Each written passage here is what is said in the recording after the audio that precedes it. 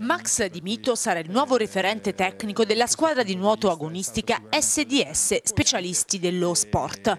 Un tecnico di altissimo livello, Max Di Mito è molto conosciuto per essere stato colui che ha scoperto la campionessa di nuoto Federica Pellegrini e che l'ha portata anche a vincere la sua prima medaglia olimpica ad Atene. La SDS è nata su impulso di alcune società di nuoto aquilane che hanno deciso di collaborare per superare anche alcune difficoltà legate alla gestione degli impianti sportivi in città. L'SDS nel tempo si è allargata, accogliendo al suo interno anche società di Pescara, Vezzano, San Salvo e Teramo, quindi un bacino regionale molto ma molto importante.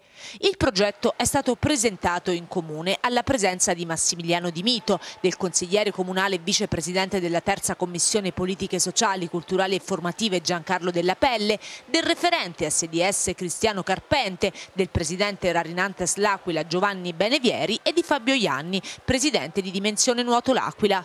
Presenti anche vari atleti delle società dell'Aquila, Pescara, Vezzano, San Salvo e Teramo.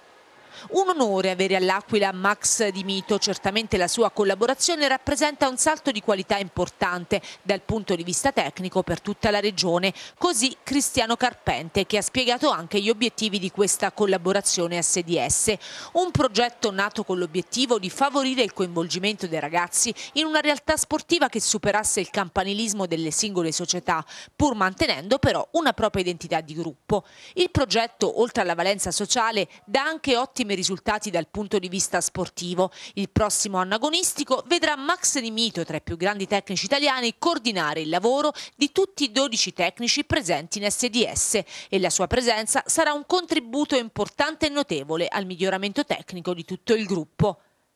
Ho accettato questo incarico perché questo gruppo mette al centro gli atleti, così ha detto invece Massimiliano Di Mito. Sono convinto che nello sport in generale, in particolare nel nuoto, i progetti di collaborazione, aprendo possibilità di uso di impianti ma anche di circolazione delle competenze, siano gli unici che possano creare grandi risultati.